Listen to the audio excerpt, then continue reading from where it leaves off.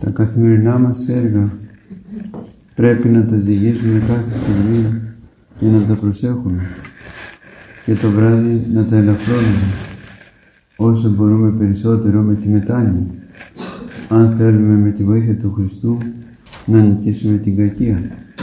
Λέγει ο Άγιος Ισύχιος, ο πρεσβύτερος, το λόγο του το ψυχοφελεί περί νύψεως θεωρητής που βρίσκεται στη φιλοκαλία. Τα καθημέρα ημών έργα δισταθμίζει καθόλου.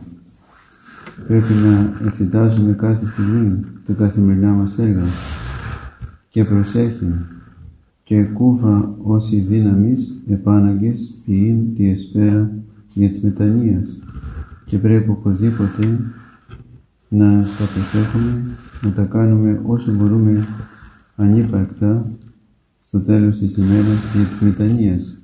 Ενώ φυσικά τα κακά έργα σχέση με τα αμαρτία, τα οποία δεν πρέπει να τα επαναλάβουμε, αλλά και τα καλά, τα οποία δεν πρέπει να θυμόμαστε γιατί θα θυμάται ο Θεός, θα γνωρίζει ο Θεός και αυτό είναι αρκετό. Και συνεχίζει και λέει και πρέπει να παρατηρούμε προσεκτικά εάν εκτελούμε όλα τα αισθητά και φανερά έργα μας σύμφωνα με το θέλημα του Θεού, ενώπιον του Θεού και μόνο για το Θεό, για να μην παρασυρώμαστε παράλογα από τις αισθήσεις μας. Ό,τι κάνει ο άνθρωπος πρέπει να το κάνει προς δόξα Θεού. Να έχει την αίσθηση ότι είναι μπροστά στο Θεό και να το κάνει με το Θεό, με τη βοήθεια του Θεού, επικαλούμενος στη χάρη του Θεού. Και σκοπίζει ή κατά Θεόν τελούμε πάντα τα αισθητά και φαινόμενα ημών έργα, κατ' ενώπιον Θεού και δια Θεόν μόνον, ή να μην υπό των αισθήσεων αλόγως κλεπτόμεθα.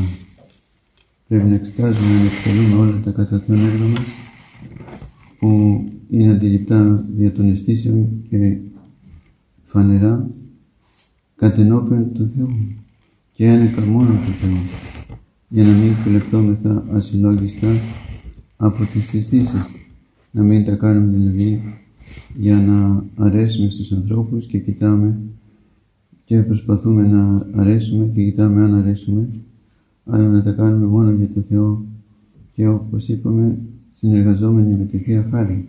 Γιατί τότε μόνο το έργο είναι καλό όταν γίνεται για τη Θεία Χάριτος με προσευχή και με ταπείνωση και για τη δόξα του Θεού.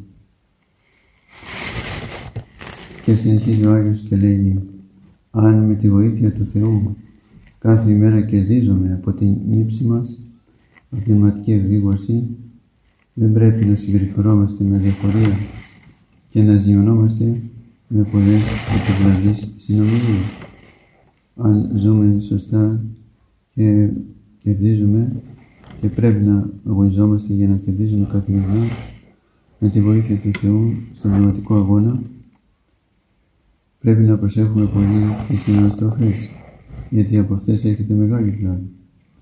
Εάν γάρ το καθεκάστην κερδένουμε, συν Θεό, εκ της νύψεως ημών, ούκ οφείλουμε να διαφόρους αναστρέφεστε και ζημιούστε για πολλών συντυχιών.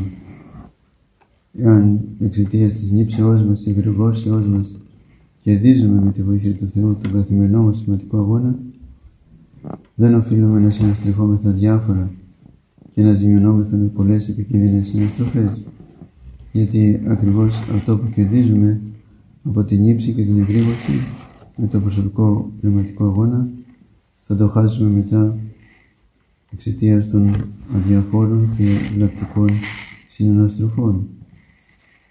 Αλλά τι πρέπει να κάνουμε, πρέπει να καταφρονούμε τα μάτια για το αξιογράφητο και γλυκό κέρδος της αρετής αυτής και την ομορφιά της.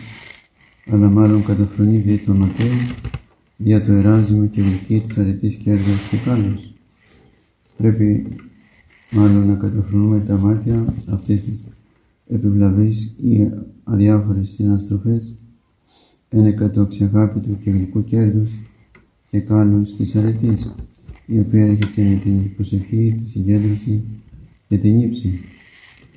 Ας προσέχουμε λοιπόν τα καθημερινά μας έργα, να τα κάνουμε προς δόξα Θεού, κατενόχων του Θεού, για τον Θεό και με τον Θεό, και να φεύγουμε μακριά από τις αναστατές πολλές, τις αδιάφορες και τις επιβλαβείς, για να μην σκορπίζουμε ότι συγκεντρώνουμε με πολύ τρόπο ε, λόγω της νύψεως και του προσωπικού αγώνος. Το δεύτερο μου δόξα πάντοτε είναι και Αγία, και στους αιώνες των αιώνων. Αμήν.